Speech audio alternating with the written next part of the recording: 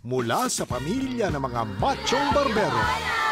Mami, picture! Ang barberong pinutulan ng masayang buhay sa probinsya Nagdadalang tao ako! At ang ama, Kuya!